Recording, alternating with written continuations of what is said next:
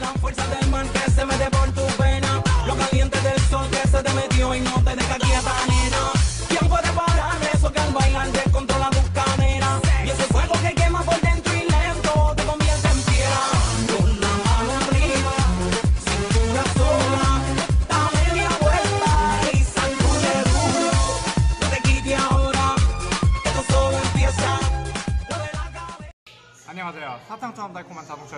캔디카입니다. 오늘은 제가 또 새로운 미니카를 한번 출고 영상을 찍어볼까 할 건데 오늘 출고하는 미니카는 저번에 닷지 챌린저 SRT 데몬의 한 단계 아래 모델인 닷지 챌린저 SRT 헬캣이라는 모델입니다.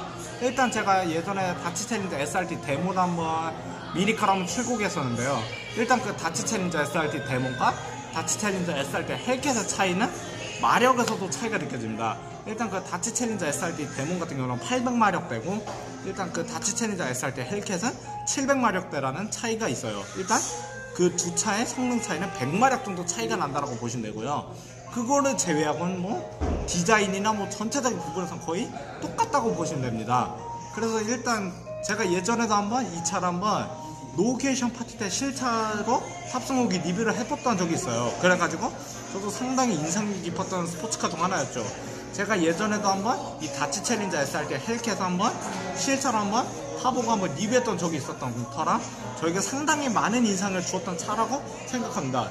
그리고 제가 이 닷지 챌린저 SRT 헬캣을 타면서 느꼈는데 상당히 스포츠카 치고는 편안했어요. 이 시트 포지션 자체가 스포츠카 치고는 상당히 편안해서 저는 개인적으로 되게 좋게 평가했다라고 그런 생각이 듭니다. 그래서 이제는 이 닷지 챌린저 SRT의 헬캣 바로 한번 간단하게 성능을 얘기해 드렸으니까 한번 이제는 본격적으로 한번 이 차의 전면부를 바로 보여드리겠습니다. 자, 그래서 이제는 이 닷지 챌린저 SRT 헬캣 솔직히 전면부는 솔직히 데몬하고 큰 차이는 없어요. 왜냐? 데몬이나 헬캣이나 크게 비슷하거든요. 좀 전면부의 디자인은 솔직히 좀 비슷하지만 그래도 약간의 차이점이 있어요. 왜냐?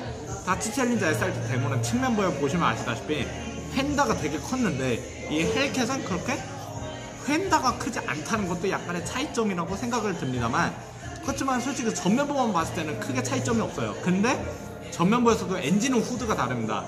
일단 엔진룸 후드에 에어덕트가 달라요. 왜냐 닷지 챌린저 SRT 데몬은 에어덕트가 상당히 큰데 이 닷지 챌린저 SRT 헬캣 같은 경우는 에어덕트가 그렇게 크지 않다는 것에서 조금이나마의 차이점을 느낄 수 있다고 보시면 될 것 같습니다. 왜냐 이 닷지 챌린저 SRT 데몬과 헬캣의 차이는 에어덕트에서도 드러난다라고 보시면 될 것 같다고 생각이 드네요. 그래서 이제는 이 닷지 챌린저 SRT 헬캣 바로 한번 측면으로 보여드리겠습니다. 자, 그래서 이제 이 닷지 챌린저 SRT 헬캣 한번 측면부를 보시면요. 측면부에도 상당히 이러한 데칼 표현이 상당히 잘 되었어요. 측면부의 데칼이나 뭐 그리고 타이어 레터링이 상당히 이 머슬카만의 매력을 더해줄 것 같아요. 솔직히 데몬하고 차이점을 느껴보자면 휀다에서도 느껴진다고 말씀드렸잖아요. 솔직히 닷지 챌린저 SRT 데몬은 휀다가 상당히 큰데 이 닷지 챌린저 SRT 헬캣은 그렇게 휀다가 크지 않다는 것도 약간의 더 차이점이라고 말할 수 있을 것 같습니다. 그래도 이렇게 타이어 레터링이나 그리고 데칼 프린팅도 상당히 깔끔하다라고 말씀드릴 수 있어요.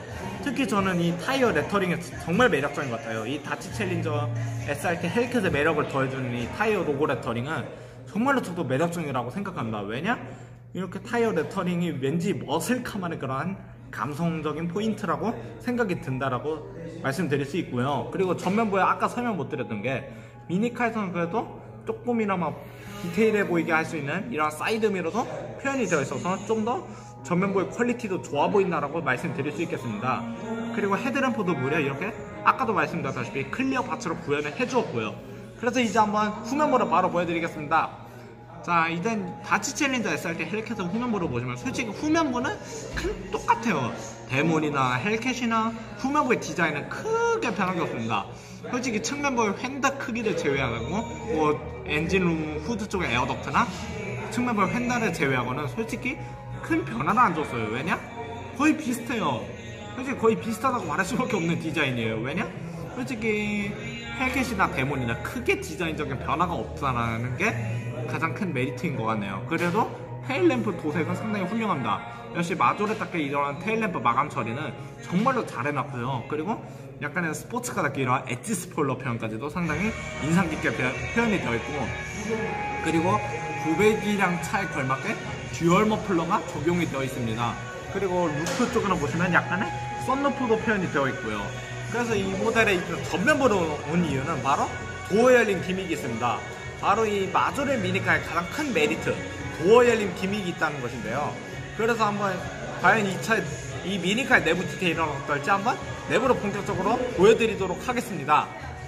자, 그래서 이제 이 닷지 챌린저 SRT 헬캣 한번 내부로 보시면요. 역시 마조렛 미니카의 매력을 잘 살려주는 내부입니다. 역시 저가형 미니카에서는 이만한 내부 quality는 마조렛밖에 없다고 생각해요. 진짜 제가 느끼는 건데, 와, 마조렛의 내부 디테일은 가히 말로 설명할 수 없을 정도의 디테일입니다. 특히 이 steering 표현과 이 스포츠 bucket seat 그리고 실차처럼 비슷한 이러한 실내 인테리어까지도 상당히 훌륭한 디테일을 자랑하는데요. 특히 역시 스포츠 쿠페에 걸맞는 이 bucket seat도 상당히 인상 깊습니다. 그렇지만 제가 이 차를 실제로 타봐서 아는데 진짜 내부 디테일도 실차랑 거의 똑같다라고 말씀드릴 수 있을 정도의 디테일이에요. 제가 이 다치 챌린저 SRT 헬켓을 실제로 타보면서 느꼈을 때 진짜 다이캐스랑 실차랑 거의 비슷하게 잘 표현을 해줬다라는 그런 생각이 들게 만듭니다. 그래서 한번 조수석 쪽을 보시면요. 자, 조수석 쪽에도 보시면 이러한 실내 디테일이 와, 정말 훌륭한데요.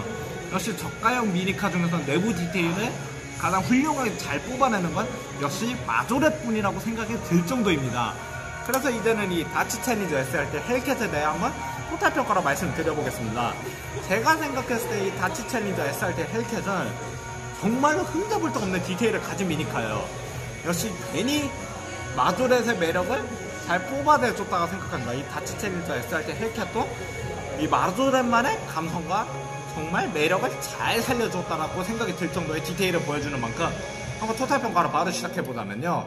전면부 헤드램프도 무려 역시 미니카지만 그래도 고quality를 강조하기 위해서 이런 clear parts 표현과 그리고 범퍼 디테일, 범퍼 디테일 그리고 엔진룸 후드 air duct 표현이나 그리고 사이드 미러 표현 등 전체적으로 전면부에도 훌륭한 디테일 표현과 그리고 측면부의 타이어 로고 lettering과 그리고 decal 상당히 인상 깊게 표현이 되어 있는 타이어 로고 lettering과 데칼과의 밸런스도 상당히 잘 맞아떨어지고 특히 라인 표현도 상당히 훌륭하다라고 말씀드릴 수 있겠습니다.